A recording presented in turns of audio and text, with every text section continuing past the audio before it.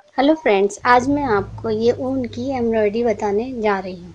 इस, इसमें क्या है, हमें इसकी ऊन की ज़रूरत है और ये कैची, सुई और ये स्केल इनके, इनसे ये फ्लावर बनेगा और फिर ये कढ़ाई होगी। तो बताती हूँ मैं। इसमें क्या करना है, आपको एक स्केल लीजिए और उसमें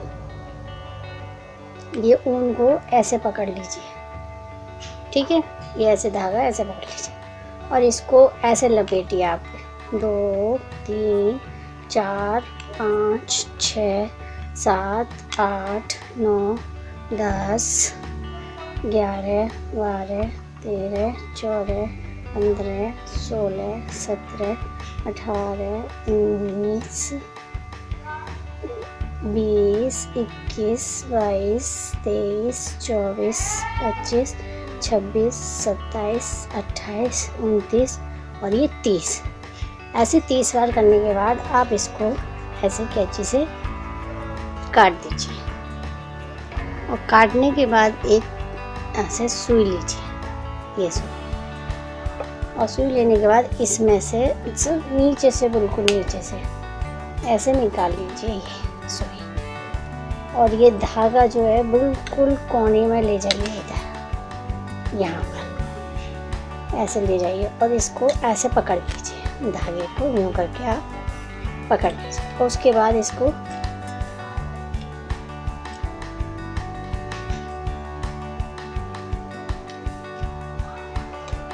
ऐसे खिस ऐसे ऐसे करके ऐसे ऐसे ऐसे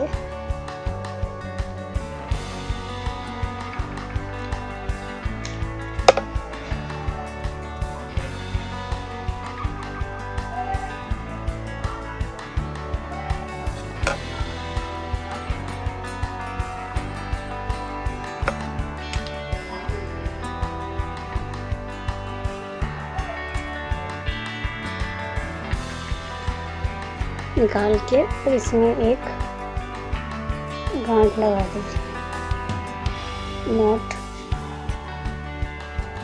कस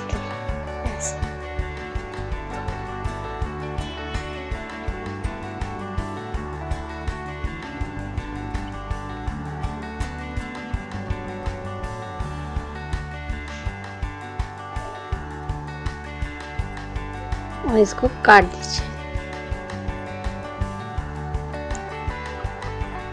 अब इसको ऐसे पकड़ लीजिए ऐसे करिए आप। करने के बाद ये ऐसे पकड़ लीजिए। टाइट और ऊन लीजिए और ऊन से ऐसे इसे बाँध दीजिए। कस के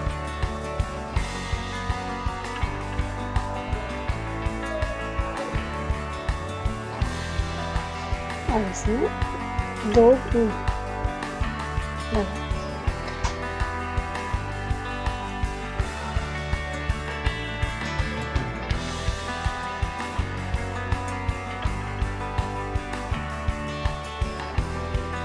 बाद इसे काट दीजिए। काटने के बाद फिर हम इसमें ऐसे ये, इधर। ऐसे पकड़ लीजिए पूरी अच्छी तरह ये करके।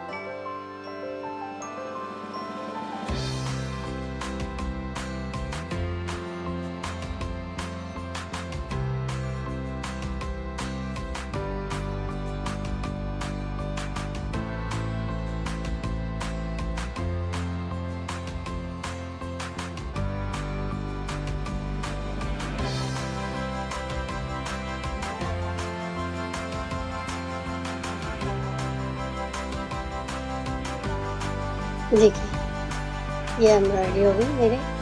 ये आप किसी पे भी कर सकते हैं। कुर्ते पे चाहें तो कुर्ते पे भी और स्वेटर पे चाहें तो स्वेटर पे भी। और ये जो फूल मैंने ये ऊन से बनाया ना, ये आप धागे से भी बना सकते हो।